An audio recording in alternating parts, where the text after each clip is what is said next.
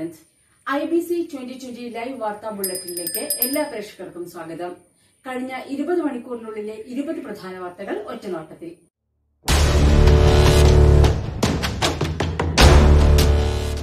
അവഗണനയിലും ഒറ്റപ്പെടുത്തലിലും മനന്നൊന്ത് വിതുമ്പുകയാണ് ട്രാൻസ്ജെൻഡറായ സജന ഷാജി. മാന്യമായി തൊഴിലെടുത്ത് ജീവിക്കാൻ ഇറങ്ങിത്തിരിച്ചിട്ടും നിർദാക്ഷിണ്യം അവഗണിക്കുകയാണെന്ന് കൊച്ചിയിലുണ്ടായ അനുഭവത്തെ സാക്ഷിയാക്കി സജന പറയുന്നു. ജീവിക്കാൻ സമൂഹം അംഗീകരിക്കുന്നില്ലെങ്കിൽ ഞങ്ങൾ എന്താണ് ചെയ്യേണ്ടത്? മാന്യമായി ജോലിയെടുത്ത് ജീവിച്ചൂടെ എന്നാണ് ഞങ്ങളെ കാണുമ്പോൾ ചോദിക്കുന്നത്. മാന്യമായി ജോലിയെടുക്കാൻ പോലും അടുത്തു നിൽക്കുന്നവർ അനുവദിക്കുന്നില്ല. ആണും പെണ്ണും കെട്ടതെന്ന് പറഞ്ഞാണ് പരിഹാസം.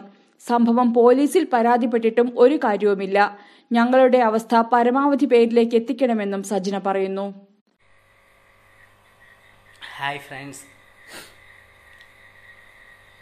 കഴിഞ്ഞ ദിവസമൊക്കെ എല്ലാവരും വന്ന് ചോദിച്ചില്ലേ എന്താ പ്രശ്നം എന്താ പ്രശ്നമെന്ന്? ഇന്ന് ഞാൻ ഉണ്ടാക്കിക്കൊണ്ട് പോയ ബിരിയാണി ഫുള്ള് ബാലൻസാണ് കണ്ടോ?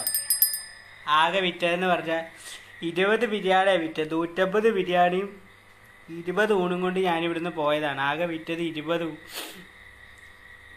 ബിരിയാണി മാത്രമാണ്. ജീവിക്കാൻ സമൂഹം അംഗീകരിക്കുന്നില്ലെങ്കിൽ പിന്നെ ഞങ്ങളൊക്കെ എന്താണ് ചെയ്യേണ്ടത്? നിങ്ങൾ പറയും. കച്ചവടം തുടങ്ങിയപ്പോൾ മുതൽ ഓരോ വീഡിയോകളും ഒക്കെ നിങ്ങൾ കാണുന്നില്ലേ? നല്ല രീതിയിൽ സന്തോഷത്തോടെ കച്ചവടമൊക്കെ പോയിക്കൊണ്ടിരുന്നതായിരുന്നു. കുറച്ച് ദിവസമായിട്ട് ഞങ്ങളെ ഭയങ്കരമായിട്ട് ടോർച്ചർ ചെയ്യാണ് ഓപ്പോസിറ്റ് നിൽക്കുന്നവർ ഇന്ന് ഞങ്ങളെ കൊണ്ട് ഒരു കച്ചവടം പോലും സംബന്ധിച്ചിട്ടില്ല. ഞങ്ങൾ പോയി പരാതി വരെ പോലീസ് സ്റ്റേഷനിൽ കൊടുത്തിട്ട് ഒരു നടപടി ഞങ്ങൾക്ക് എതിരെ എടുത്തിട്ടില്ല എന്ത് ചെയ്യണമെന്ന് അറിയില്ല. നാളെ സാധനം എടുക്കാൻ പോലും പൈസ ഇല്ലാത്ത അവസ്ഥ. ഉണ്ടായിരുന്നതൊക്കെ വിറ്റും പെറുക്കിയും കുടുക്ക വരെ പൊട്ടിച്ചാണ് ഞങ്ങൾ ബിരിയാണി കച്ചവടം തുടങ്ങിയത്. എന്ത് പറയണത് പോലും അറിയാത്തൊരു സിറ്റുവേഷനിലാണ് ഇന്ന് നോക്ക് ഇത്ര ബിരിയാണി ഈ ഊണും എല്ലാം ബാലൻസ് ആണ്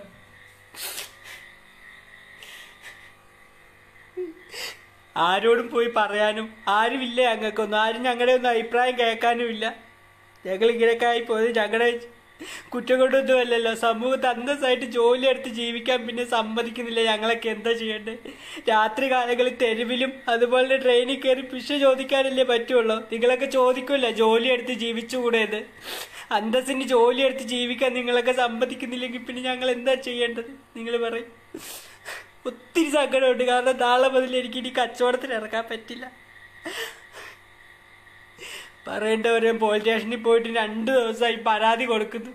അവർ ചോദിക്കുന്നത് ഞങ്ങൾക്ക് ബിരിയാണി വിറ്റ് തരാൻ പറ്റുമോ എന്ന് കേസായി ചോദിച്ചത് ഇന്ന്. കഴിഞ്ഞ ദിവസം അവിടെ വഴക്കുണ്ടായി. അതിനു മുമ്പാണ് അവർ ഫുഡ് ഇൻസ്പെക്ടർ ആന്നൊക്കെ പറഞ്ഞ് അമീൻ എന്നൊക്കെ പറഞ്ഞ ആൾക്കാർ വന്ന് ഞങ്ങളെ ഒരുപാട് ഭീഷണിപ്പെടുത്തും അത് ഇതൊക്കെ ചെയ്ത്.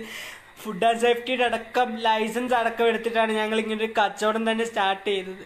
എന്നിട്ടും ഞങ്ങളെ ജീവിക്കാൻ അനുവദിക്കുന്നില്ല ഞങ്ങളൊക്കെ എന്താ ചെയ്യേണ്ടത്? നിങ്ങൾ തന്നെ പറ ഈ വീഡിയോ മാക്സിമം ഷെയർ ചെയ്യുക അധികാരികളിൽ എത്തണം എല്ലാവരും കാണണം എന്റെയൊക്കെ അവസ്ഥ എന്താണെന്ന്. ഞങ്ങളൊക്കെ ജീവിക്കാൻ ഇറങ്ങി തുനിച്ചിട്ട് ഞങ്ങളുടെയൊക്കെ അവസ്ഥ ഇതാന്ന് സമൂഹം അറിയണം എല്ലാവരും അത്ര സങ്കടം വിഷമമുണ്ട് രാവിലെ മുതൽ ഒന്നും കഴിക്കാതെ പോലീസ് സ്റ്റേഷനിൽ മാത്രമായിരുന്നു ഇന്ന്. ഞാൻ അവിടെ പോയി സാറിനോട് കാൽ പിടിച്ച് പറഞ്ഞ് സാർ എങ്ങനെ സംഭവമാണ്. എന്താ ചെയ്യേണ്ടത്? സാർ ഒന്ന് വരുമോ വരുമോ എന്ന് ചോദിച്ച്. ഹിൽ പാലസ് സ്റ്റേഷൻ രാവിലെ പോയതാ. അവർ പറഞ്ഞ് പറ്റൂല വൈകുന്നേരം വല്ല വരാത്. വൈകുന്നേരം വീട്ടിൽ പോയിട്ട് പറഞ്ഞു സാർ ഇത്ര ബിരിയാണിയൊക്കെ ബാലൻസ് ഞങ്ങൾ എന്താ ചെയ്യേണ്ടതെന്ന് ചോദിച്ചപ്പോൾ പറയാം അത് നിങ്ങൾക്ക് ഇഷ്ടമുള്ളത് ചെയ്തോന്ന്. ഞങ്ങൾക്ക് ബിരിയാണി ഒന്നും വന്ന് വിറ്റ് തരാൻ പറ്റൂലല്ലോ. എന്ന് ഓപ്പോസിറ്റ് നിൽക്കുന്നവർ വന്നിട്ട് ഞങ്ങളുടെ വണ്ടിയിൽ അപ്പുറം ഇപ്പുറം നിന്നിട്ട് ആണും പെണ്ണും കെട്ടതാണെന്നും പറഞ്ഞ് കളിയാക്കലും പരിഹാസമൊക്കെ ആയിരുന്നു ആരോട് പോയി പറയാൻ? ഞങ്ങൾ നാലഞ്ച് ട്രാൻസ്ജെൻഡേഴ്സ് ഈ ഇതും കൊണ്ടാണ് ജീവിച്ചു പോകുന്നത്. ഞങ്ങൾ അന്തസ്സായിട്ട് നാലഞ്ച് പേര് ജീവിക്കുന്ന ജോലിയാണ്. നിങ്ങൾ കുറച്ച് പേരൊക്കെ വന്നിട്ട് നമ്മുടെ അടുത്ത് ബിരിയാണി വാങ്ങിയിട്ടുണ്ടാവില്ല. നിങ്ങൾക്കൊക്കെ അറിയാലോ എവിടെ കാരാ നിൽക്കുന്നതെന്നൊക്കെ അഞ്ചാറ് കുടുംബം കഴിയുന്നതായിരുന്നു. എല്ലാം നിന്ന് അത്ര സങ്കടമുണ്ട്. ഈ വീഡിയോ എല്ലാവരും ഒന്ന് ഷെയർ ചെയ്യുക സംസ്ഥാനത്ത് ചൊവ്വാഴ്ച എണ്ണായിരത്തി എഴുന്നൂറ്റി അറുപത്തിനാല് പേർക്ക് കോവിഡ് സ്ഥിരീകരിച്ചു. ഇരുപത്തിയൊന്ന് മരണമാണ് കോവിഡ് പത്തൊമ്പത് മൂലമാണെന്ന് സ്ഥിരീകരിച്ചത്. ഇതുവരെയുള്ള രോഗമുക്തരുടെ എണ്ണം രണ്ട് ലക്ഷം കടന്നു. ഇരുപത്തിനാല് മണിക്കൂറിനിടെ നാൽപ്പത്തി എണ്ണായിരത്തി ഇരുന്നൂറ്റി അൻപത്തി മൂന്ന് പരിശോധനയാണ് നടത്തിയത്. ആകെ കോവിഡ് മരണം ആയിരത്തി നാൽപ്പത്തി ആറാണ് ഏഴായിരത്തി എഴുന്നൂറ്റി ഇരുപത്തിമൂന്ന് പേർ രോഗമുക്തി നേടി. ഇന്ന് രോഗം സ്ഥിരീകരിച്ചവരിൽ മുപ്പത്തിയാറ് പേർ വിദേശ രാജ്യങ്ങളിൽ നിന്നും എൺപത്തിയഞ്ച് പേർ മറ്റ് സംസ്ഥാനങ്ങളിൽ നിന്നും വന്നതാണ്. എണ്ണായിരത്തി മുപ്പത്തി ഒൻപത് പേർക്ക് സമ്പർക്കത്തിലൂടെയാണ് രോഗം ബാധിച്ചത്. അഞ്ഞൂറ്റി ഇരുപത്തിയെട്ട് പേരുടെ സമ്പർക്ക ഉറവിടം വ്യക്തമല്ല. ഈ വർഷത്തെ കേരള സംസ്ഥാന ചലച്ചിത്ര പുരസ്കാരങ്ങൾ പ്രഖ്യാപിച്ചു.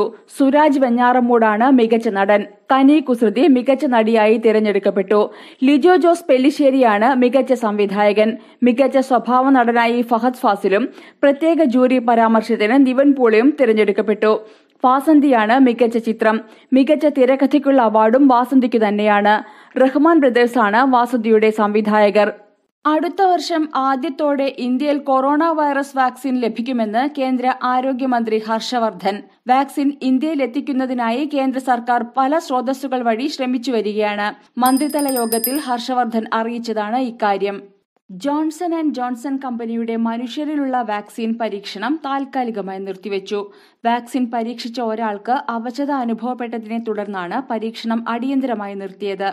അതേസമയം കോവിഡ് വന്നു പോകട്ടെ എന്ന തരത്തിലുള്ള മനോഭാവം അപകടകരമാണെന്നും മുൻകരുതൽ വേണമെന്നും ശക്തമായ മുന്നറിയിപ്പുമായി ലോകാരോഗ്യ സംഘടന രംഗത്തെത്തി.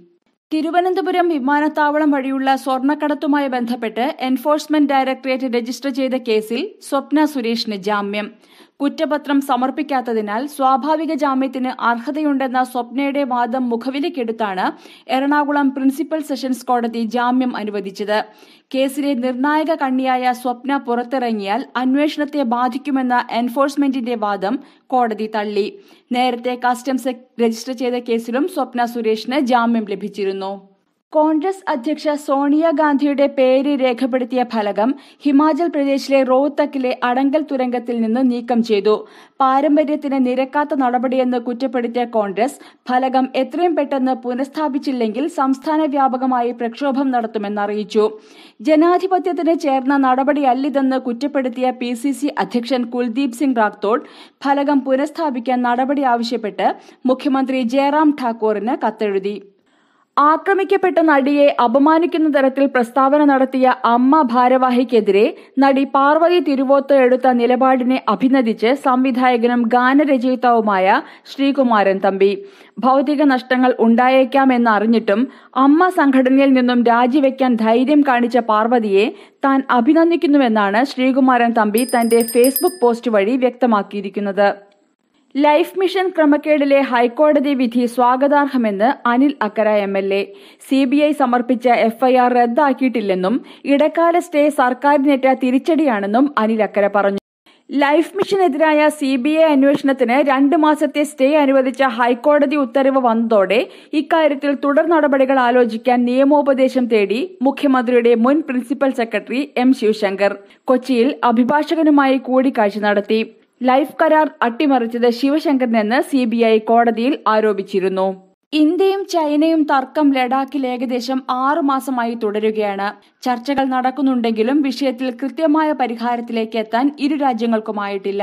ചർച്ചയുടെ എല്ലാ ഘട്ടങ്ങളിലും സൈനികരെ പിൻവലിക്കണമെന്ന ശക്തമായ ആവശ്യമാണ് ഇന്ത്യ മുന്നോട്ട് വയ്ക്കുന്നത് ഇതിനായുള്ള കരട് അന്തിമമാക്കുകയായിരുന്നു ചർച്ചയുടെ അജണ്ടയെന്ന് ഇരു രാജ്യങ്ങളും അറിയിച്ചു. ഏഴാം റൌണ്ട് സൈനികതല ചർച്ചയാണ് ചുഷൂലിൽ ഇന്നലെ നടന്നത്. സാമൂഹ്യ വിരുദ്ധരെയും ഗുണ്ടാ സംഘങ്ങളെയും കർശനമായി നേരിടാൻ ഓപ്പറേഷൻ റേഞ്ചർ നടപടികളുമായി Thrissur city police. Thrissur city പോലീസിന് കീഴിൽ വരുന്ന ഇരുപത് പോലീസ് സ്റ്റേഷൻ പരിധികളിൽ കഴിഞ്ഞ ദിവസം വ്യാപക റെയ്ഡ് നടത്തി. ആന്ധ്രാപ്രദേശിലെ അനന്തപുരം ജില്ലയിൽ പതിനാറുകാരി കലക്ടറായി ചുമതലയേറ്റു. ഒരു ദിവസത്തേക്കായിരുന്നു വിദ്യാർത്ഥിനിയായ എം ശ്രാവണി ജില്ലയുടെ കലക്ടറായി ചുമതലയേറ്റത്. അന്താരാഷ്ട്ര ബാലികാ ദിനത്തോടനുബന്ധിച്ചായിരുന്നു ശ്രാവണിയെ കലക്ടറായി നിയമിച്ചത്. പീഡനത്തിനിരയായ പെൺകുട്ടിക്ക് ഇരുപത്തി അയ്യായിരം രൂപ അനുവദിക്കുന്ന ഒരു ഫയലിലാണ് ശ്രാവണി ആദ്യം ഒപ്പുവെച്ചത്. ശേഷം നഗരത്തിൽ പരിശോധനയ്ക്കായി പുറപ്പെട്ടു. വെള്ളം കെട്ടിനിൽക്കുന്ന റോഡുകൾ ഉടൻ നന്നാക്കാൻ ഉത്തരവിട്ടു. ഒരു ഹൈസ്കൂളിലെ സൗജന്യ സ്കൂൾ കിറ്റുകളുടെ വിതരണവും പതിനാറുകാരി പരിശോധിച്ചു. സംസ്ഥാനത്തെ ആരാധനാ കേന്ദ്രങ്ങൾ തുറക്കുന്നത് സംബന്ധിച്ച് ഉദ്ധവ് താക്കറെയുടെ നേതൃത്വത്തിലുള്ള മഹാരാഷ്ട്ര വികാസ് അഗാഡി സർക്കാരും മഹാരാഷ്ട്ര ഗവർണർ ഭഗത് സിംഗ് കോഷ്യാരിയും തമ്മിലുള്ള തൊഴുത്തിൽ കുത്ത് അടുത്ത ഘട്ടത്തിലേക്ക് കടന്നിരിക്കുകയാണ്. ഈ വിഷയം പറഞ്ഞുകൊണ്ട് ഗവർണർ അയച്ച കത്തിനോട് ഉദ്ധവ് താക്കറെ വളരെ രൂക്ഷമായി പ്രതികരിച്ചു. പൊന്നാനിയിലെ ഹൗറ മോഡൽ ഹാങ്ങിംഗ് ബ്രിഡ്ജിന് കിഫ്ബി അംഗീകാരം. പൊന്നാനിയെയും പടിഞ്ഞാറേക്കരയെയും ബന്ധിപ്പിക്കുന്ന കടൽപ്പാലത്തിന് കിഫ്ബിയുടെ അംഗീകാരം ലഭിച്ചു.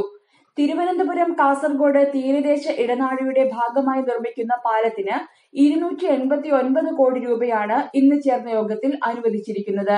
ഭാരതപ്പുഴ അറബിക്കടലിൽ ചേരുന്ന പൊന്നാനി അഴിമുഖത്തിന് കുറുകെയാണ് ഒരു കിലോമീറ്ററോളം വരുന്ന കടൽ പാലം നിർമ്മിക്കുന്നത്. ഗതാഗതത്തിന് പുറമെ ഏറെ ടൂറിസം സാധ്യത കൂടിയുള്ള പദ്ധതിയാണിത്. I B C twenty twenty വാർത്താ ബുള്ളറ്റിൻ ഇവിടെ സമാപിക്കുന്നു. കൂടുതൽ വാർത്തകൾക്കും വിശേഷങ്ങൾക്കുമായി ഞങ്ങളുടെ ഫേസ്ബുക്ക് പേജ് വെബ്സൈറ്റ് യൂട്യൂബ് എന്നിവ സന്ദർശിക്കുക. ഇനി ഞങ്ങളുടെ ഔട്ടർ സെഗ്മെന്റ് കാണാം. നമസ്കാരം.